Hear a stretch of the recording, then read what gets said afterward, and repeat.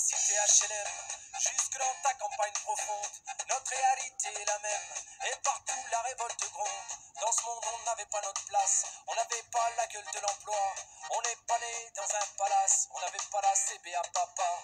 SDF, chômeurs ouvriers, paysans immigrés sans papier. Ils ont voulu nous diviser, faut dire qu'ils y sont arrivés. Tant que c'était chacun pour sa gueule, leur système pouvait prospérer. Mais fallait bien qu'un jour on se réveille et que les têtes se remettent à tomber.